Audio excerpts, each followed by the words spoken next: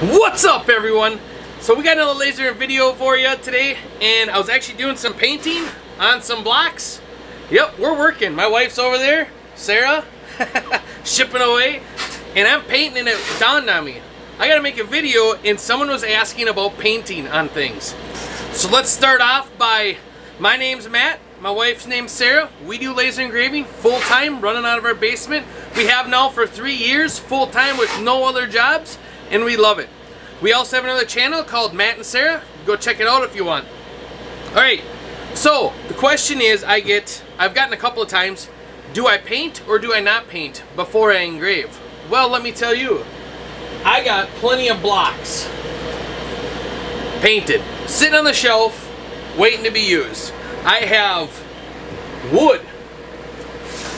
I got one painted in there ready. And what I like to do is I paint it before I engrave. Now if you're going to cut, that leaves it a little iffy. Then you got to use a lot of tape and so forth, which is doable. You can easily do it.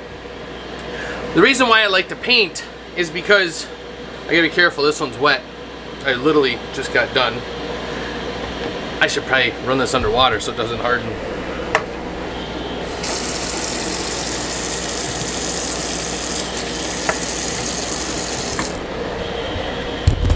I'll clean that after we're done with this.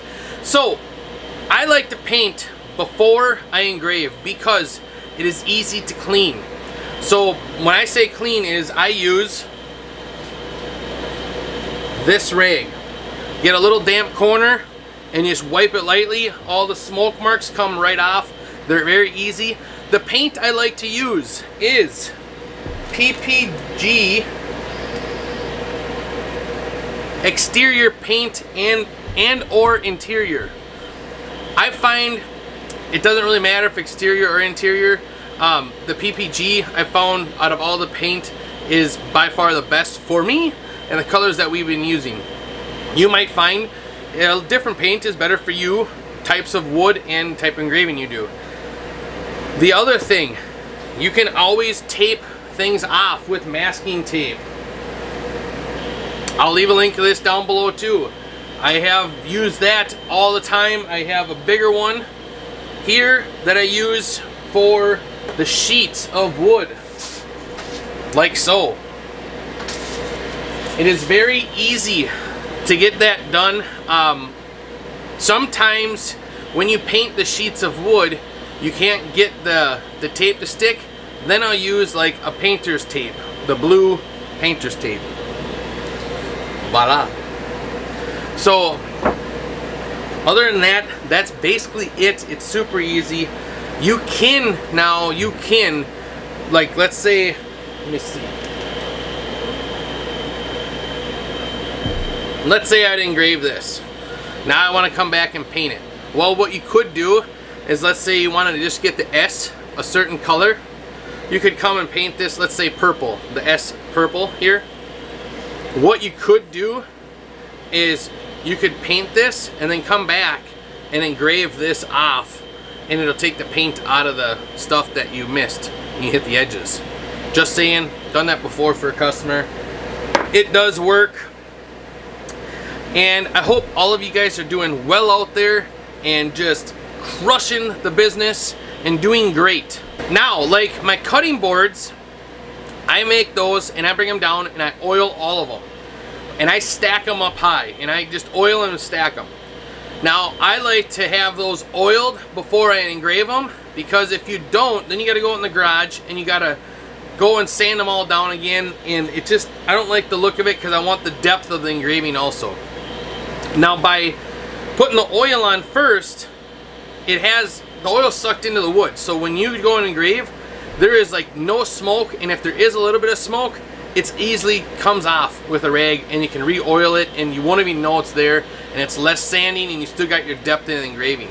That's why I choose to do that. And the other thing with the engraving on the cutting boards you want to make sure like I go back and I oil where I engrave so that part of the wood soaks in more of that oil. Just to give it a little bit more of a glossy look and it looks in my eyes it looks better but then you gotta dry it with a towel and let it sit.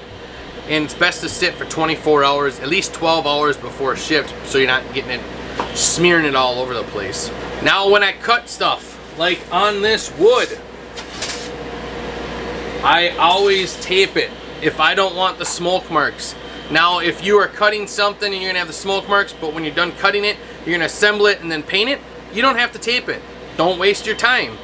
Because taping, you're also gonna have to weed off the tape. You're gonna have little parts, little tiny pieces that you're gonna have to get those off and it's just time consuming, very time consuming. So I would steer clear of that unless you had to do it on most things. But if you're cutting and you want a wood look, you have to tape it. No, there's no way around it really. So I hope that helps. If it does, please give it a thumbs up and subscribe if you want to see more. Again, my name's Matt, my wife's name's Sara, and we do this full time. We just want to help people out because we didn't have this kind of stuff when we started out. And I know there's a bunch of videos out there about um, other kinds of lasers, but we use CO2 lasers and we do this as a business, not a hobby. So if you guys want, check out my other channel, Matt and Sara. And glad you got to see me again. Bye.